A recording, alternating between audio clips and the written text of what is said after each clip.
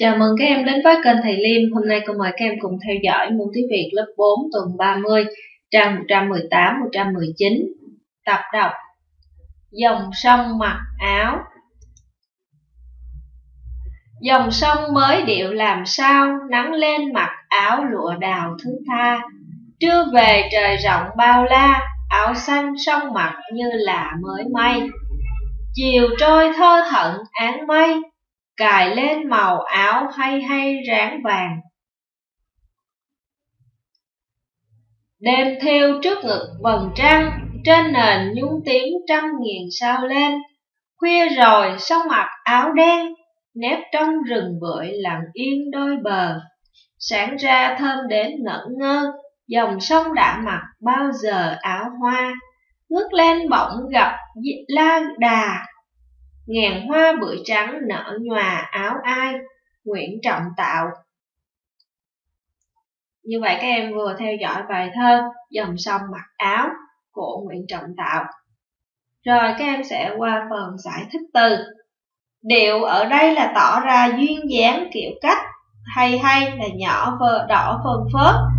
Rồi ráng, hiện tượng ánh sáng mặt trời lúc mọc hay lặn phản chiếu lên các đám mây làm cho cả một khoảng trời sáng rực, nhuộm màu vàng đỏ hay hồng sẫm.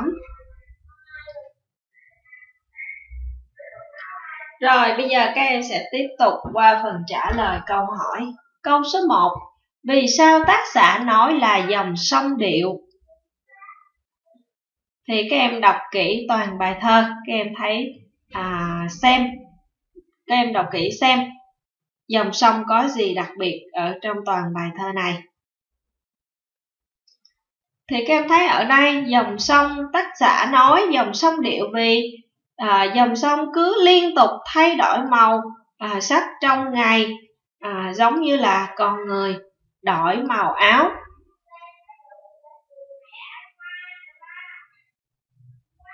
Thì các em thấy ở đây nắng lên thì mặc áo lụa đào thước tha trưa về thì trời rộng bao la áo xanh sông mặt như là mới tháng mới may. Rồi chiều trôi thì thơ thẩn án mây cài lên màu áo hay hay rạng vàng. Rồi đêm thì thiêu trước ngực vầng trăng trên nền nhung tím trăm ngàn sao lên. Khuya thì à, sông mặc áo đen rồi sáng ra thì thơm đến ngẩn ngơ rồi dòng sông đã mặc bao giờ? Áo hoa. Đó như vậy thì ở đây các em thấy đọc kỹ toàn bài thơ. Thì các em thấy tác giả nói dòng sông điệu vì nó cứ liên tục thay đổi màu sắc trong ngày giống như là con người đổi màu áo. Như vậy câu số 1 tác giả nói dòng sông điệu vì nó cứ liên tục thay đổi màu sắc trong ngày giống như con người thay đổi màu áo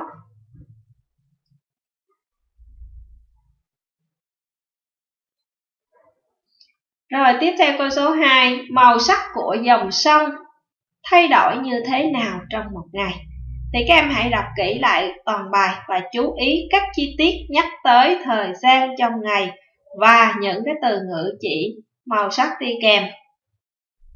Thì các em thấy ở đây vào buổi sáng thì à, sông mặt ở đây nắng lên mặc áo lụa đào thước tha tức là à, trong buổi sáng thì sông mặc áo lụa đào. Rồi buổi trưa về thì à, trưa về trời rộng bao la áo xanh sông mặc như là mới thay. Trưa về thì à, sông à, mặc áo xanh. Rồi tiếp theo chiều trôi thơ thận áng mây cài lên màu áo hay hay ráng vàng. Tức là buổi chiều thì sông mặc áo màu vàng rồi tiếp theo nữa, đêm theo trước ngực vầng trăng, trên nền nhung tím trăm ngàn sao lên. Thì buổi tối, buổi tối thì áo của sông là lấp lánh, ảnh trăng sao. Rồi khuya rồi sông mặc áo đen, nếp trong rừng bưởi lặng yên đôi bờ. Thì khuya sông bắt đầu à mặc áo đen. Rồi sáng ra thơm đến ngẩn ngơ, dòng sông đã mặc bao giờ áo hoa. Tức là à, sáng ra thì à, sông mặc áo trắng màu màu hoa bưởi. Như vậy thì đây là những cái chi tiết nhắc tới thời gian trong ngày và những cái từ ngữ chỉ màu sắc đi kèm rồi như vậy câu số 2 Màu sắc của dòng sông thay đổi liên tục trong ngày. Buổi sáng sông mặc áo lụa đào Buổi trưa sông mặc áo xanh Chiều sông mặc áo màu vàng, Tối áo của sông lấp lánh ánh trăng. Khuya, sông mặc áo đen, Sáng ra sông mặc áo trắng màu hòa bưởi.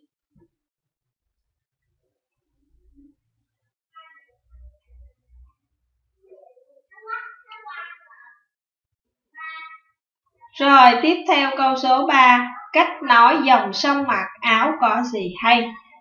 Thì các em thấy theo các em thì dòng sông có biết mặc áo không?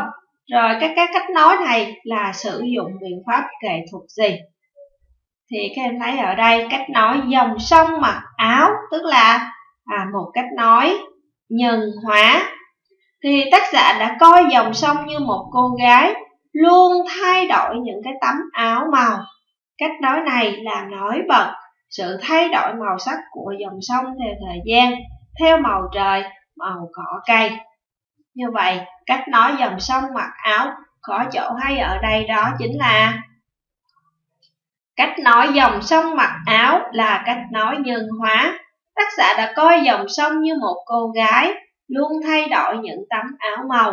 Cách nói này làm nổi bật sự thay đổi màu sắc của dòng sông theo thời gian, theo màu trời, màu cỏ cây.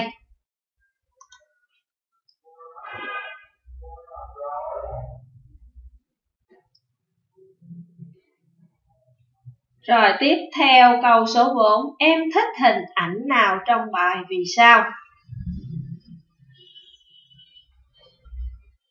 Thì à, các em à, suy nghĩ và các em tự trả lời. Các em thích hình ảnh nào nhất thì các em sẽ trả lời và các em nêu à, lý do là vì sao các em thích. Thì ở đây cô nêu à, em thích hình ảnh nắng lên mặc áo lụa đào thước tha trưa về trời rộng bao la áo xanh sông mặt như là mới may thì cái hình ảnh này gợi ra sự mềm mại duyên dáng của dòng sông. Màu sắc ở đây cũng đẹp, đó là màu đào của nắng mới lên, màu xanh của bầu trời buổi trưa cao rộng. Thì ở đây là một cái ví dụ, hình ảnh em thích và nêu lý do tại sao em thích lại dưới đây. Em thích hình ảnh này bởi vì nó gợi ra sự mềm mại duyên dáng của dòng sông. Màu ở đây màu sắc ở đây cũng đẹp nó là màu đào của nắng mới màu xanh của bầu trời uh, buổi trưa cao rộng rồi tiếp theo câu số 5 là các em sẽ học thuộc lòng bài thơ về phần nội dung thì bài thơ ca ngợi vẻ đẹp của dòng sông quê hương. Như vậy thì đến đây các em đã vừa cùng cô theo dõi môn tiếng Việt lớp 4. Thì sau khi xem xong, nếu các em thấy dễ hiểu thì hãy nhấn nút thích và chia sẻ cho mọi người cùng xem. Và đừng quên đăng ký kênh Thầy Liêm để được xem những video tiếp theo nhé. Cô chúc các em học tốt và cô chào tạm biệt các em.